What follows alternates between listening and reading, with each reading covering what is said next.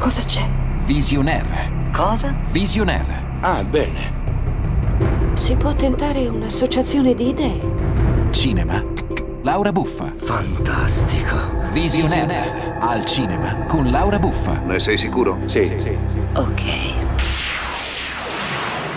Benvenuti all'appuntamento con le Vision News, le notizie dal mondo del cinema a cura di Visionaire. Sarà Everest di Baltasar Kormakur il film d'apertura fuori concorso della 72esima Mostra Internazionale d'Arte Cinematografica di Venezia, in programma dal 2 al 12 settembre. Everest verrà proiettato in prima mondiale il 2 settembre. Ispirato a fatti legati al tentativo di raggiungere la vetta più alta del mondo, documenta il viaggio di due spedizioni che si imbattono in una violentissima tempesta di neve. Nel cast Jason Clark, Josh Brolin, Robin Wright, Sam Worthington, Kira Knightley, Emily Watson e Jake Gyllenhaal.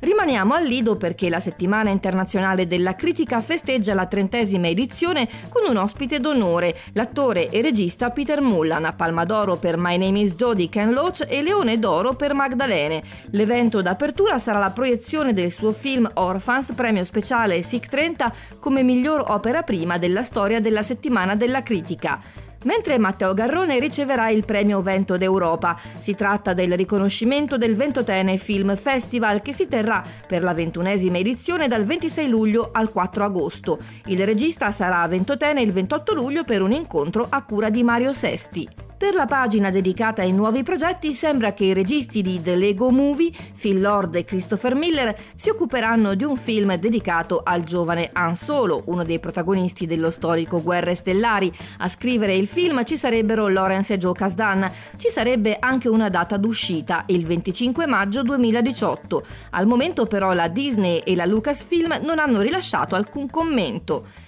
In chiusura ci diamo appuntamento al Sofitel Roma Villa Borghese della capitale, dove fino al 31 ottobre si terrà la mostra Magnifique Bardot, dedicata alla diva francese ritratta dal fotografo Leonard Remy. Dopo una prima a Saint-Tropez e a Roma, gli scatti voleranno oltre Atlantico. Per il momento è tutto da Laura Buffa, ma se volete rimanere sempre aggiornati sulle novità dal mondo del cinema, venite a trovarmi sul sito www.visionaire.fm. A presto e buon cinema a tutti!